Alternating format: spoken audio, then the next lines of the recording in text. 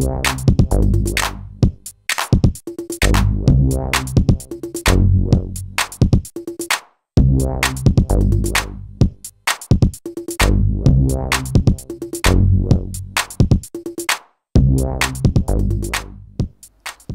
everyone, this is Harry from Aires Communication. In this video, I'm going to show you how you can install Netflix at your Nokia Lumia 900 cellular phone.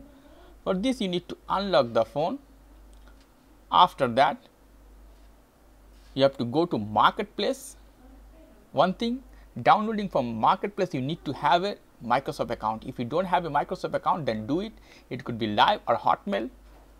Doesn't matter. Click Apps, slide go to all at the corner touch free at free slide down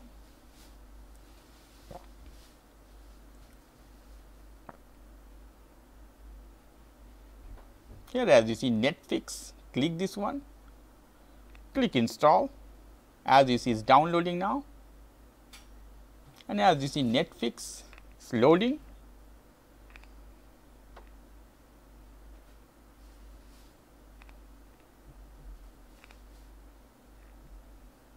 Is done. All you need to do is just need to touch this one and Netflix is open just put your email ID and password and sign in. This is all. All the application are at the menu of application as you see Netflix here.